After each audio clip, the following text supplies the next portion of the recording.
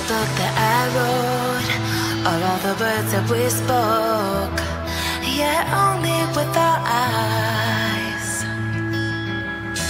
Now is the time to choose. Somebody wins and some lose.